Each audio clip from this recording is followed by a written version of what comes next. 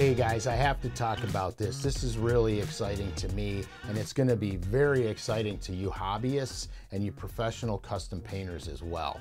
LureNet created a brand new product, the do-it-yourself custom lure blank bundle. These blanks are the real deal. They're authentic production lures. We took the top four requested lure body blanks and put them into these value pack bundles. And what we got here is we have a Bandit Walleye Deep bundle, a Heddon Super Spook Junior bundle, and of course, my all-time favorites, the Norman DD22 and the Norman Deep Little N bundles. As a custom painter myself, the thing I hate the most is to have to go to a tackle store, buy a lure off the shelf, bring it home, unassemble it, sand it all down just to paint it. These lure body blanks in here come ready to scuff and paint.